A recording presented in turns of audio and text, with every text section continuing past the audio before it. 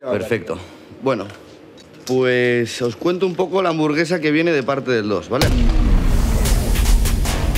Pues partiendo de la base que quería algo que no se saliera mucho de lo común, es decir, no quería hacer una hamburguesa con pescado, no quería hacer una hamburguesa extraña, con todos los ingredientes más cercanos, más locales posibles.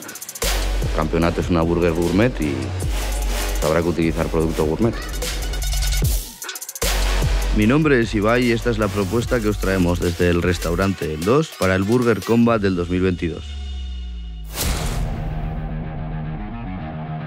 Lo principal en una cheeseburger son la carne, el queso y el pan. Nos decantamos por comprar picaña de guayú, queso raclette y pan pretzel. Picamos por un lado la grasa que viene en la picaña y por otro lado el magro. Y decidimos que 170 gramos de magro con 20 gramos de grasa nos daban la jugosidad deseada.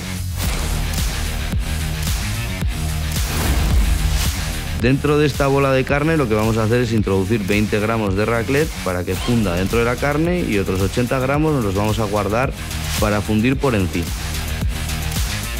Aparte, lo que vamos a hacer es tostar bien este pan en las brasas colocar una confitura de tomate casera en la base, alinear estas espinacas con una vinagreta normal y justo encima vamos a poner también ya lo que es la carne con el raclette dentro, el raclette por encima ya fundido, cinco lonchas de guanciale y unos aros de cebolla que hemos tempurizado y pasado por una barbacoa casera una sartencilla hasta que se impregnen de manera correcta.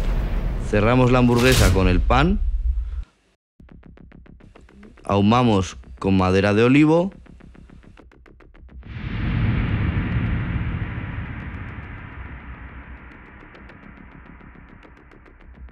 y pinchamos una jeringuilla para inyectarle una salsa de yemas de huevo curadas que teníamos previamente elaborado.